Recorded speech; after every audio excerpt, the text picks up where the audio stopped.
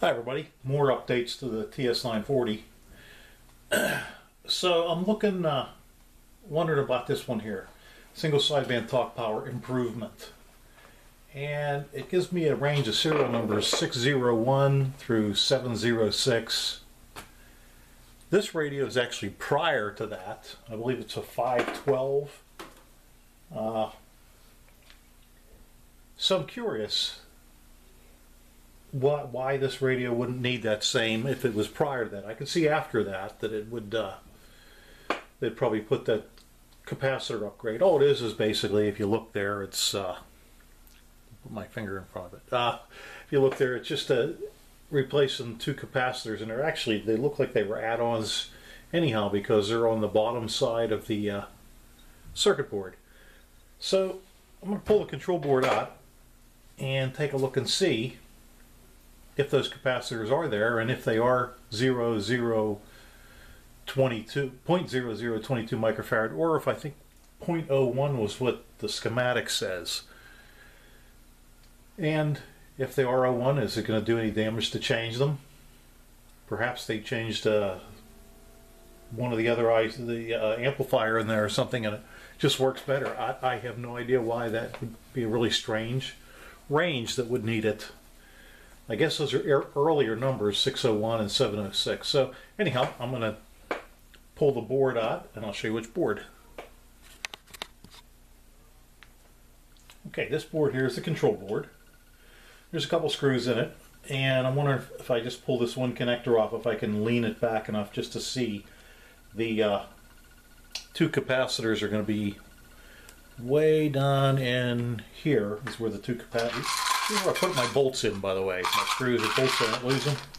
But anyhow, uh, the two capacitors are actually on the bottom side there, and like this was the, the the only thing I can see that looks like it's on this side.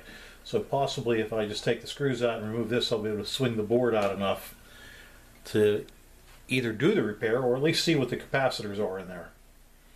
So let me take out a couple screws here and this, and we'll be back. Okay, one thing to add here when you take this out, this has a heat sink in here for the uh, regulators and the amplifier. I, what I'm going to try and do is I took the screws out for the heat sink, this part here, the metal part here. There's two screws up top, one about here, and then two on the very bottom that go from this direction. As you can see, I can move it out. So we'll go that route and see if I can get it out enough. Just taking the board screws out won't work. In fact, you can leave this edge four screws in. So we finish out here and see if we can get that out of there.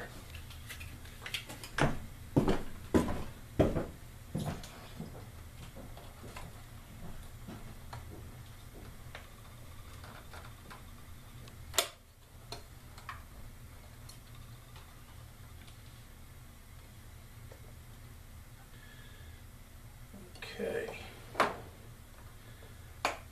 see what we have to do here.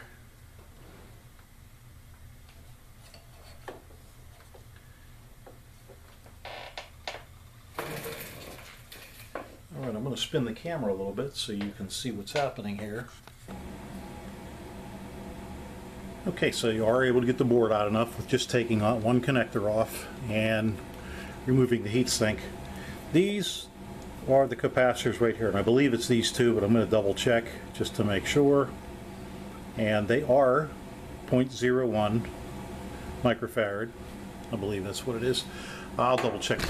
Sorry, sorry for bumping that. And see what this the uh, schematic says. If I can zoom in a little bit better so you can see them. Wrong zoom. Come on, guy, focus. There we go. I don't know if that'll make matters better or worse.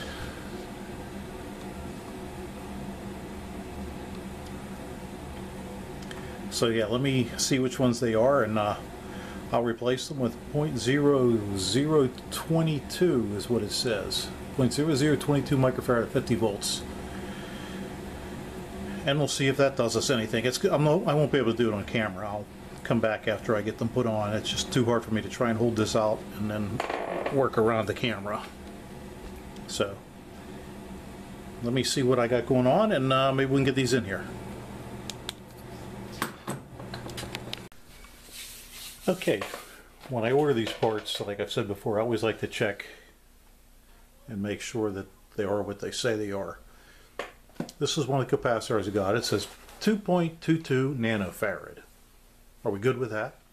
We, what we're looking for is 0.0022 microfarad. It says 2.22 nanofarad, and the packaging says, so if I can bring it in, 2200 picofarad. Are we good with that? So what you can always do, it's just moving the decimal point. Oh, and by the way, and I know this is kind of like an eye test, but that little black marking on that capacitor actually says 222. Are we good with that?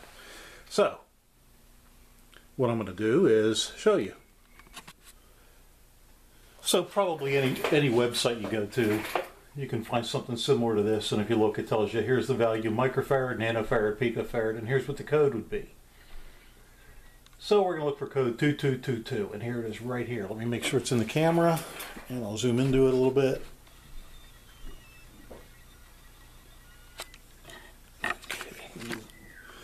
Go down so you can see what I'm looking at. Right there.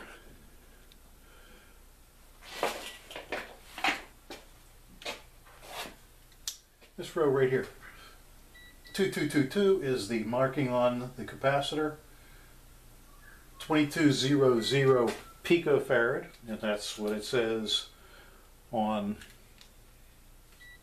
on a piece of paper that came with it. The meter said 2.2 was a nanofarad, and the schematic says 0.0022 microfarad. So they are all one and the same. So it looks like we got us a keeper. So let me put those components in and uh, we'll go from there. Oh, and by the way, that's that's it. That's the board layout. These are always good to check whenever you're going to do anything. But you can see how these are kind of drawn above. That means that they're not through hole. Kind of means they were. You look. This is looking like at the bottom of the board. Here's 182 and here's 183 and you can see that they both connect together through this of Q37 which I already looked up before I know that's the base so if you look two of these capacitors are hooked exactly like that to the base of that transistor so I know which ones they are but I could always check it with an ohm meter if I wasn't sure if there was a whole bunch of them I could check it with an ohm meter stick a uh, lead in the end of that Q37 and start probing around for which one of the capacitors was had uh, zero ohms or was connected right to it. Okay, and so there it is, the finished product. The two uh, 0.0022 microfarad capacitors have replaced the 0.01 microfarad capacitors as called out in the original schematic. Looking at, oh, back in here, you can see these two screw holes right here and here. These two guys right here. If you remember when I put the power supply in, there was two bolts that stuck up they used as ground lugs. They had wire solder to them and you just break them off. Well, I remembered that they were behind that board and I thought if I ever take that board out, I'll pull them out. And that was those two right there. So if you ever take that board out on your own, if you've done this power supply upgrade, you don't have to, but they were just bothering me, so I pulled them out. Okay, so uh, we get it all back together. When you do this, just be careful if you do this. Start all your bolts, but don't tighten them until you're done because this kind of floats around and the board kind of floats around. You got to get everything jived together. So start the bolts in, don't tighten them down. Once you get everything in, then tighten them down. Also watch you don't pinch any wires. I'm not going to put this back together tonight uh, because uh, you know how these are with with terminals and connections. You always find out you bump something. So uh, I want to play around with it a little bit more anyhow. I did order some relays too to mess around with the uh, attenuator. I want to find a good replacement relay for those. Anyhow, we'll take a look at the uh, the bird meter. I have it with the, the peak thingies turned on so it reads peak. Uh, microphone's turned to about half, and I'm on upper sideband on 28.4 megahertz to 10 meter band. Uh, just always seems to be where I test at. So, um, have the microphone probably about six inches from my face, and like I said, it's turned up to about halfway. I'm using the, uh, oh, that's really close. I'm using the MC60 just because that's what I've used all along for testing. So we'll give it a shot and see how it works. Hello, hello, hello. One, two, three. Hello, hello. X-ray. I don't know why they say X-ray or audio. I don't know. It seems to be a little bit better. Let's see. Let me see if I turn the mic gain up a little bit more. What I get. Mic gain is now at almost eight. Hello, hello. I don't know. I'm getting almost 100 watts, so it does seem to be definitely better does seem to be definitely better. Anyhow, uh, we'll see if we can get some signal reports and some radio reports uh, and, and, go from there. And like I said, I'm not going to button it up. I'll leave the uh, the boards off it because, as you can see, it's all put back together. But there's so many connectors here. I want to make sure everything still works. Uh, like I said, these connectors are such a sore spot with everything else. Although the bottom one here is the only one I took off. But flexing the board out of the way and everything else that goes with it. Here's the relays I spoke about. That's the attenuator relays. And I did at one point take them out and clean them. But the issue I ran into, this little guy here, probably can't see it, but little plastic tab's broken on it. So the cover moves and believe it or not, just that moving cover does change the uh, signal a little bit. Not not any valuable amount, but you can hear it. So uh, I'm looking for a suitable replacement for those. Ordered a couple, and if, if what I measured, these are 10 millimeter wide by 15 high, just about. And if what I uh, picked out, 12 volt, single pole, double throw, uh, if they work out good, I'll, I'll list the, uh, the part number for them down below. Um, not too worried about turning this one, replacing this one. That's for the, the transverter.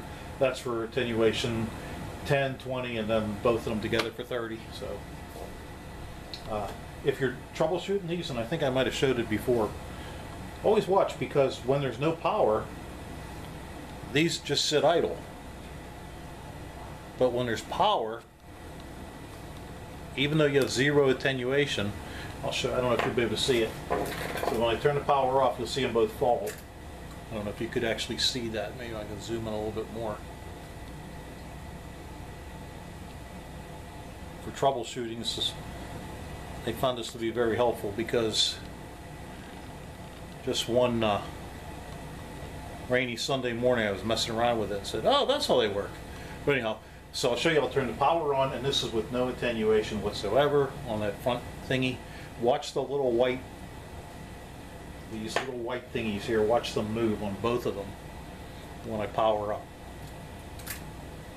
See how they both went over? Now I'll show you when I put on 10, 20, and then 30, they kind of both go back to where they were. Uh, but anyhow, so that, and then there's actually a resistor in there that burns up on some of them too. So if you're ever working on these and the attenuators don't work or you have weak signal, check inside there, check these guys here. I actually took mine off and cleaned them and they were great after I cleaned them. But like I said, the cap was kind of broken. And there's a resistor in there that burns up. And I forget why, I think there was a service bulletin on that or something, but uh, uh, this one it wasn't burned up, it was just the relays. All right, well, that's it for this segment of how can I deface my TS940.